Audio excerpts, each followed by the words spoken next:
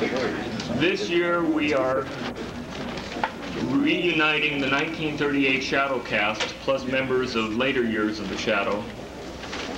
Uh, we hope to have shortly uh, Dwight Weist, Margot Stevenson, and Trudy Warner joining us. Uh, the members of the panel at this time consist of, on my far right, your left, Ken Roberts. Hi.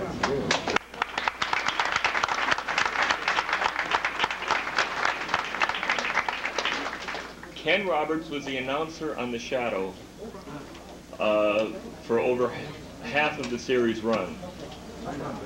Uh, he started as the announcer in 1931 on the Blue Coal Radio Review, uh, continued with The Shadow, of which that was the second season following the Detective Story magazine. Continued on several seasons opposite Frank Readick, and for a brief period, Jimmy Lacurto, when Jimmy Lacurto filled in.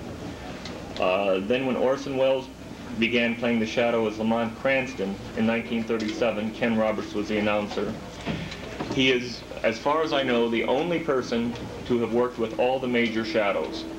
Uh, Frank Readick Jr., uh, Jimmy Lacurto, Orson Welles, Bill Johnstone, Bret Morrison, and John Archer. Did you work with uh, Steve Courtleigh when he took over? For, okay.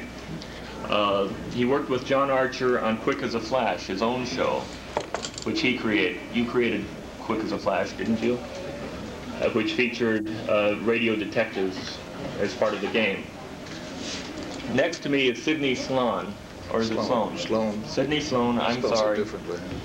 uh, who was an actor on The Shadow during the Orson Welles and Bill Johnstone periods, and then became a writer and wrote a couple dozen of the Shadow radio shows, and you also served as script editor, didn't you? Not on that show. No, later when I worked for uh, Ruthrauff and Ryan, I did.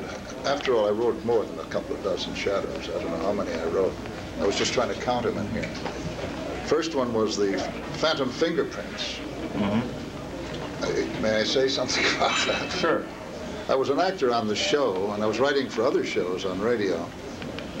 And uh, Bill Tuttle, who was directing the show, came to me after rehearsal. We hadn't start, we hadn't gone on the air yet. Uh, He said to me, "Hey, don't you think this is a terrific script?" And at the risk of never being hired by Bill again, I said, "No, I don't think it's. I think it's a rather hackneyed idea, and it's been done. It'll go very well, but it's been done by other people." And Bill said, well, if you can write a better script, why don't you write one? Which I did, and finally wrote it for five years. Uh, not all the time, but I wrote five years of, uh, I was em- employed uh, with other things too, but that uh, was quite a nice thing for me. Uh, just to continue the introductions, on my left, your right, is Walter Gibson, the man who in a very real sense created the Shadow, the author of 283 Shadow novels, uh, the man who created Lamont Cranston and Commissioner Weston and Joe Cardona and Clyde Burke and other characters who appeared on the radio show. On the far end is Mr. John Nanovic, Walter's unseen partner in the preparation of the Shadow magazine stories. John Nanovic was the editor during the glory days of the Shadow, Doc Savage, Nick Carter, and the Avenger, and was a very important, also was a coordinator of the Pulp magazine's relations with the radio show. You okayed the radio scripts. And, Yep, that was my job. I didn't know anything about it. uh, I'll explain later. If, if I may go back to Ken Roberts for just a moment, you worked with, as I said, virtually every shadow. Which of the, uh, how would you describe Frank Readick as the shadow? Because none of his shows exist. Well, Frank actually was the shadow long before there was a Lamont Cranston. When Frank was doing the shadow, the shadow was, I shouldn't say nothing more or less because he was a very important part of the show actually, but what he was more than anything was a narrator. He was the signature voice. He was the voice whom you heard saying, who knows what evil lurks in the hearts of men, and all of the other well-known phrases.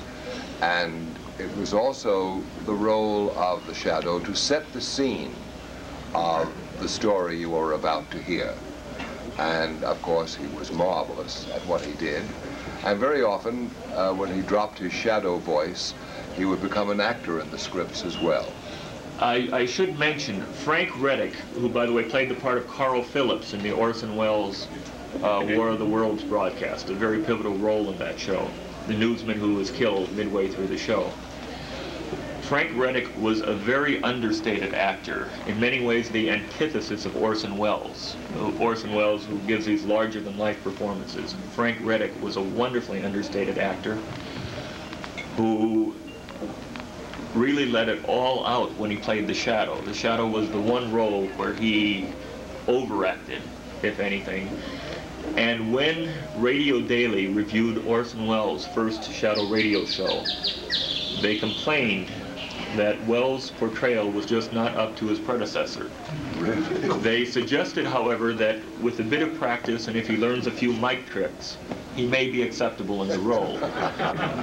Now that makes you wonder how good Frank Readick was when Orson Welles is compared unfavorably with him. Or, or how good the critic was. Right. a good. ju- Walter, you were at was it Thurston's house or Dunninger's when you first heard a detective story hour? over at Thurston's. And I was incidentally over there on a radio. I was over there on a radio deal. Thurston, the magician, wanted to get into radio.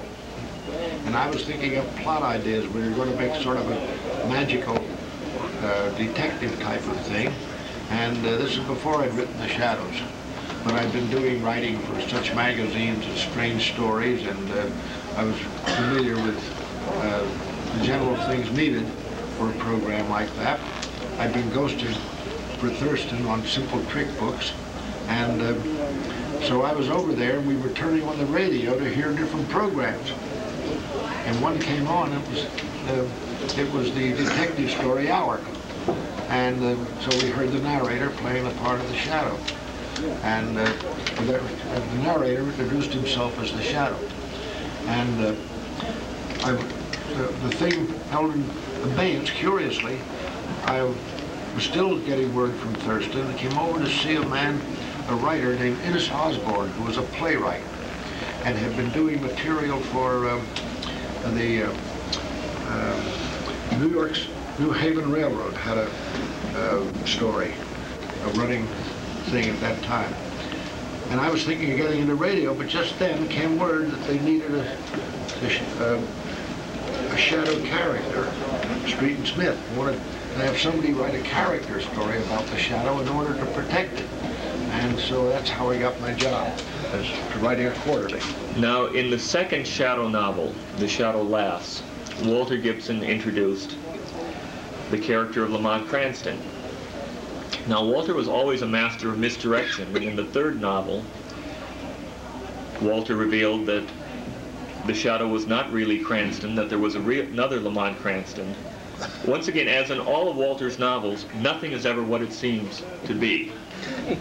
And eventually, after giving clues for about 120 novels, Walter revealed that the Shadow was really Kent Allard, a aviator who had flown down to Yucatan and then come back to play the part of Cranston. But he wanted to fly down there so that nobody, they thought after so many years, he suddenly came back from the jungle with some natives. And presumably he lived down there all that time, so he couldn't possibly have been the shadow. Uh, by the way, Walter's first chapter, uh, the chapter in The Shadow Laughs with the real Cranston, is beautifully entitled Lamont Cranston Talks to Himself. What happened was this. Uh, Cranston woke up in bed, and somebody's leaning over the foot of the bed. And he looks up and sees himself there. And that's when it was the shadow.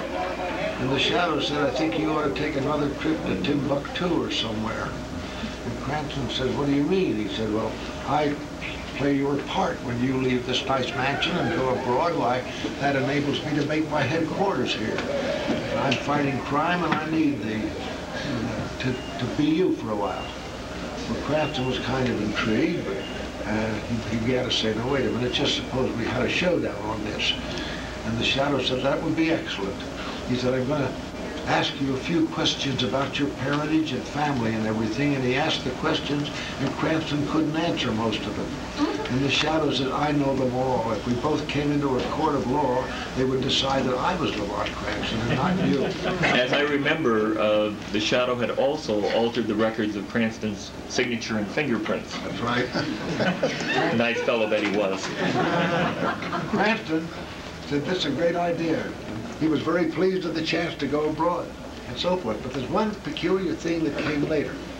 Um, after that, we just buried that under for, for years until we brought Allard in.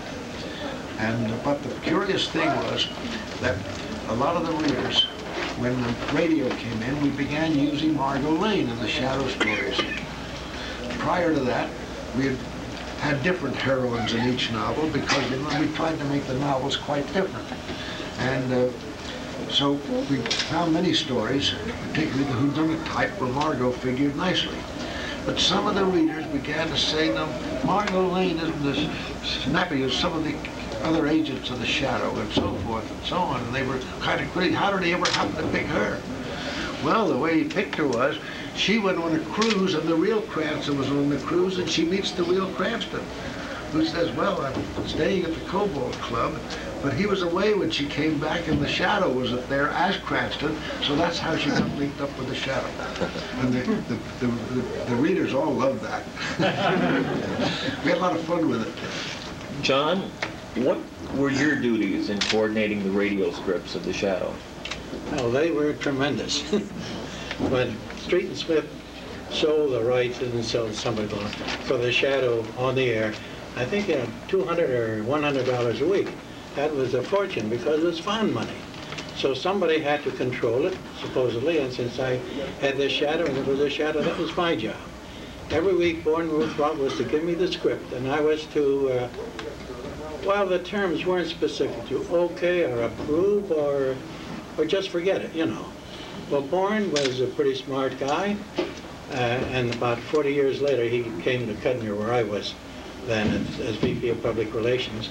And he would send the script down to me about 3 o'clock Friday afternoon, which was all right, except I wanted to catch the Lehigh Valley train to my hometown near Allentown at 4.15. And that didn't give me much time to read the script. So I would just say, well, okay. Besides, uh, I didn't know anything about radio. I had hardly ever listened to radio before this. I was in the magazine and writing business. That I knew, I thought, better than uh, the average person, but the radio, I didn't care. The only time, every now and then, uh, besides, the show was doing real well, so why should I criticize the script? You know, you couldn't get anything better.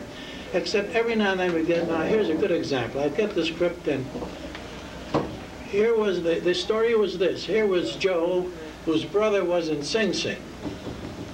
And his brother was going to be hung at 6 o'clock tomorrow morning. Look at that, as a born, you don't hang in Sing Sing. In New York, you electrocute. And you don't get that midnight flickering because that's on a separate circuit and so forth. This I know because each year I took the writers up there when Warden Lawes was there. Remember, we'd go through the whole works. And uh, so that's no good. And second, this guy is up on top of the Salmon Tower, which is at 42nd and 5th Avenue, that sort of small skyscraper. And he's going to shoot the governor of the state. If they hang his brother, he's going to shoot the governor of the state who is leading a parade down Fifth Avenue. Well, 6 o'clock in the morning, the governor is leading the parade down Fifth Avenue. I said, Bourne. He said, look, and he was right in this, and other radio writers have told me this too. First of all, in the radio, you can turn back the pages. In a story, if you pull a boner, they turn back the pages and you pull a boner. In radio, it's gone. There's nothing you can do about it. Second, they don't care what happened before. They just do this and that. I said, well, more, you're going to get bushels of letters. He said, look, if I get more than four letters, I'll buy you and Ann the best dinner in the uh, Cloud Club. That was the Ruthrauff and Ryan had their office in the Chrysler building. And this was a private club on the top. I said, okay.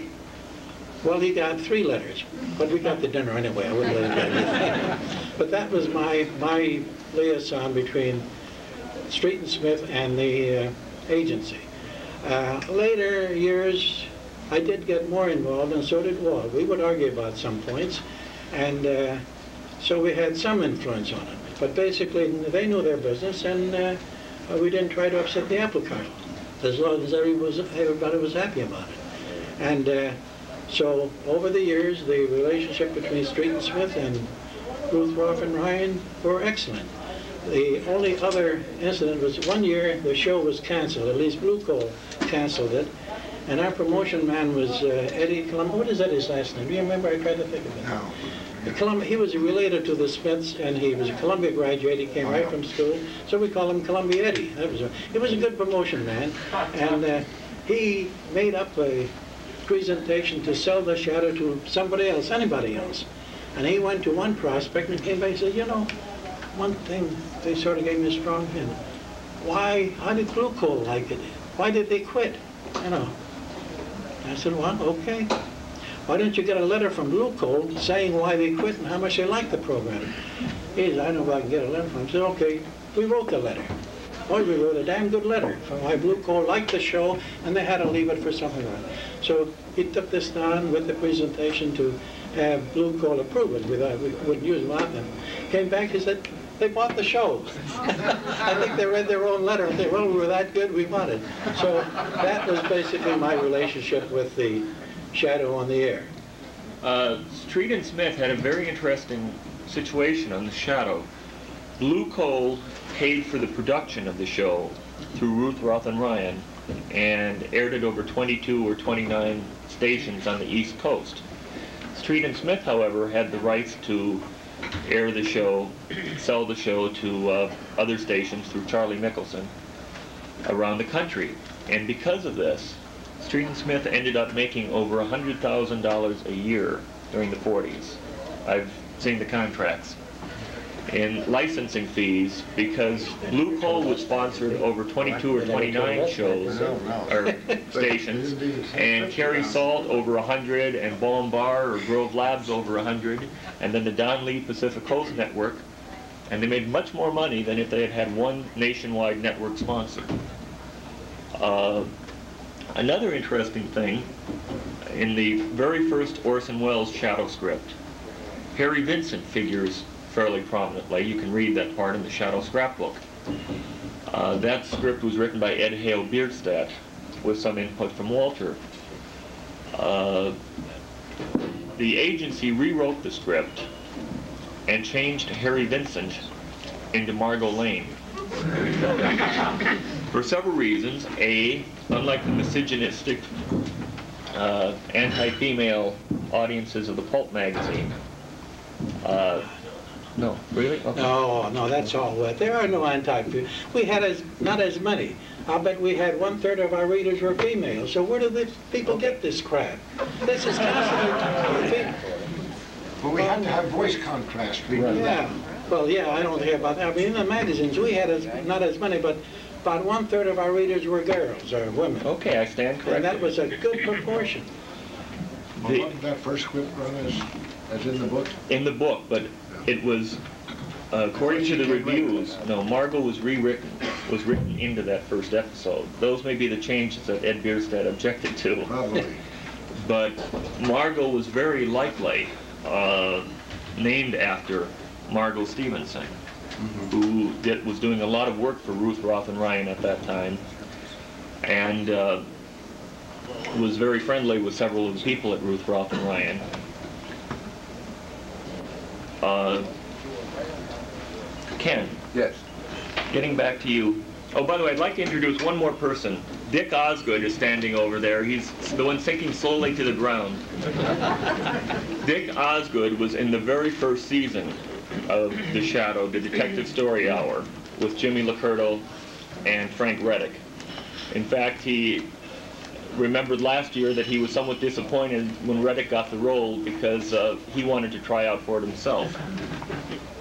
But uh, Dick was known as Elmer Cornell back in those days.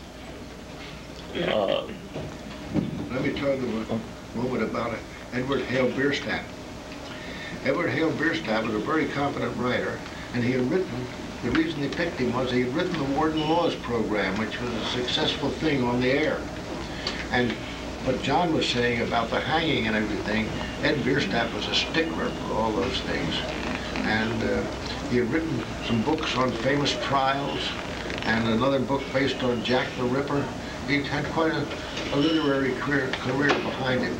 And he um, was married to Catherine Mackenzie, who was on the staff of the New York Times and had written the biography, an authentic biography of Alexander Graham Bell because she had been his secretary. And they were summering at Chebeague, Chebeague Island in Casco Bay. And I was on, lived inland at Gray, Maine, for 15 miles. So I got notification to go down and meet the writer that was doing the radio script. I went down, was on a boat called the Nellie G, which was quite a boat. We got over there, and we stayed there so long that uh, uh, both Jim and I, or both uh, Ed Bierstadt and I had a certain penchant for scotch, and so we got very chummy, and I liked the script, and hoped he would go on with more. But he was a stickler for so many things that uh, when he began to, they began to tell him a few things and change his script, he just quit cold, and uh, that was the end of that. But I knew him in later years, and he used to come back to Chebeague every summer and has some very interesting anecdotes about him. He fell down one uh, one summer and bro- broke his leg. And it happened on a Saturday, and nobody came to the house until Monday. Wife didn't get there for the weekend, and the maid came in to clear up the place, and immediately called the local doctor. They have a doctor on the uh, place, uh, on the island, and uh, he temporarily put some board, some splint type of things on his leg and said, this man can't navigate any other way, you've got to get him to the Port- Port- Portland Hospital. So they had to carry, carry him, the taxi driver came, found they had to carry him, they picked up the cot bodily with four men and carried it and put it on the boat. And he came into Portland Harbor, and by that time they sent me a phone call out of Maine. This understands a year after. And it had nothing to do with the shadow all that year, but we made a very interesting friendship. He's a likable guy, and despite despite his eccentricities. And uh, so he stayed at my house and recuperated for all that summer. And uh, you know what? When I, I knocked out some shadow stories and having him with nothing else to do and wanted to read them, boy, I really put stuff into those stories. It was great having a reader of his capability just sitting around there. And uh, the interesting thing was the bills came in from Chebeague Island. And you know what it cost him to be taken from that house in the middle of the island instead of by the roadway where the taxi cab was carried by four men, one of them the taxi driver, about three, a half mile or so across fields. 75 cents because that was the charge for the taxi cab. Their way of thinking up there was that somebody, you came to get somebody in a taxi cab, it was your business to get to get them where they were going, whether they could use the cab or not. So it was, just lights just the little sidelights. The shadow cast of the Orson Welles and Bill Johnstone eras They learn differently. was probably the greatest cast that ever existed on the show. You had Orson and Bill, Ray Collins, and Dwight Weist as Weston, later Kenny Delmar, Ken Roberts' cousin, Everett Sloane. Everett. No. Everett. He was related to me. Weren't you his cousin? No, Everett was married to my cousin. Oh, okay. I stand corrected once again. That's perfectly all right. Uh, Arthur Benton. Uh, Roland Winters. oh, Roland Winters? That's right. Yes, Roland was uh, on the cast from time to time. He, he, of course, in case you don't know who Roland Winters is, went on to become Charlie Chan In the films. in films and uh, has just lately retired as president of the Players Club in New York, so actors think very highly of him. Okay, could you two talk a little bit about the people you knew and anecdotes about the show during that period? Well, the most interesting anecdote, I think, to the people present today would be the story of Orson Welles' uh, sojourn as Lamont Cranston, in the sense that when Orson was invited to do The Shadow. He was then starting what was to become a very great career, of course. And uh, he was very active as the director of the Mercury Theater here in New York. And he had his own stock company of players, and they did an active repertory season on Broadway for a few years. And he hardly had time to do anything except his own Mercury Theater work. When prevailed upon to do The Shadow, he did so on one condition,